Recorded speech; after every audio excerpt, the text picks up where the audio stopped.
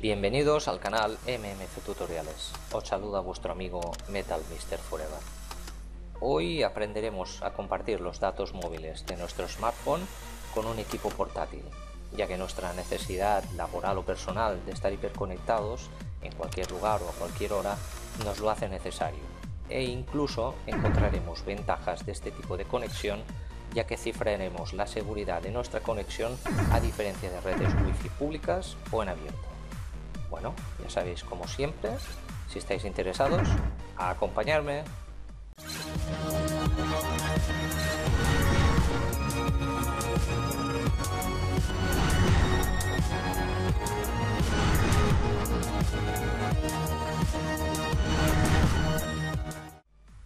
El tutorial lo dividiré en dos secciones, una sección para la configuración de un punto de acceso inalámbrico y otro para una conexión de datos móviles mediante un cable USB.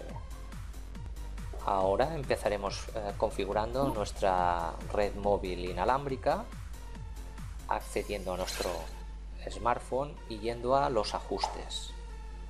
En los ajustes nos vamos a dirigir a punto de acceso.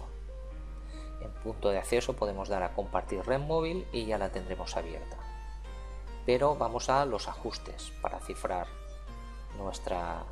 seguridad. Podremos cambiarle el nombre a nuestra red para poder identificarla pulsando sobre ella. Podemos ponerle el que quisiéramos. Luego iremos a seguridad y vamos a pulsar sobre WPA2 PSK. Y también podríamos configurar nuestra contraseña. Cuanto más robusta, mejor. Y la primera vez que accediésemos a, a nuestra red móvil, eh, nos pediría la contraseña. Una vez tengamos configurada nuestra red de acceso inalámbrico, no necesitaremos entrar desde los ajustes. Podremos ir desde el área de notificaciones, yendo a las herramientas y pulsando sobre punto de acceso. Pero debéis de tener en cuenta que cada vez que pulséis sobre punto de acceso desconfiguraréis o desactivaréis la Wi-Fi. Es importante que este detalle lo tengáis en cuenta.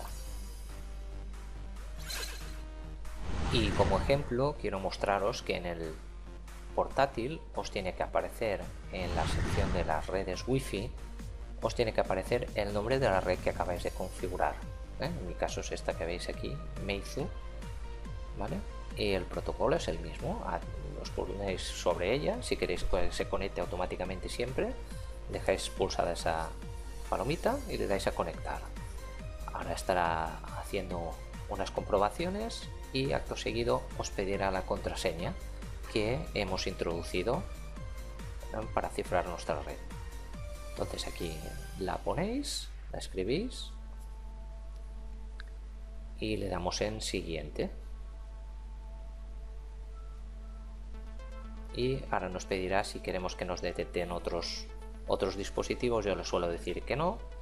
Comprobará el estado de la red y automáticamente ya estáis conectados, como podéis ver, conectado seguro. Ahora vamos a configurar los datos móviles a través de un cable USB, pero debemos de tener en cuenta unos cuantos aspectos. El primero es que debemos desactivar la carga automática por cable USB eh, para cargar la batería.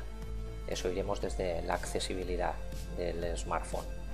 Y también tendremos que activar el uso compartido de red por USB y obviamente tener en cuenta que tenemos que tener un cable USB con nosotros también que podamos conectar desde el smartphone al PC.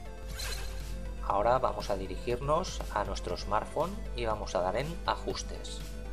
Nos vamos a dirigir a punto de acceso para comprobar que no está resaltado usar uso compartido de red por USB.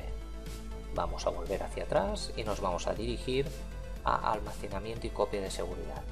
Bajaremos hasta conexión USB a PC y pulsaremos sobre dispositivo multimedia y volveremos hacia atrás. Nos volveremos a dirigir a punto de acceso y vamos a coger nuestro cable USB y lo conectaremos del smartphone al PC.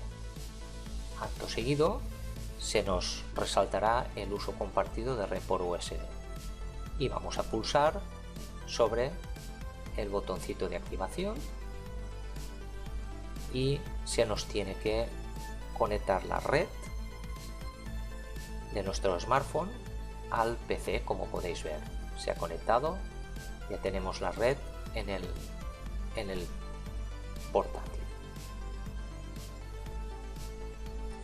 y ya para terminar deciros que para quitar la conexión simplemente con que quitéis el cable USB o desactivéis eh, el eh, uso compartido de red por USB pues ya se terminará la conexión. Nada amigos espero que este tutorial os haya sido de vuestro grado y nada me despido como siempre de todos vosotros. Hasta el próximo tutorial. Adiós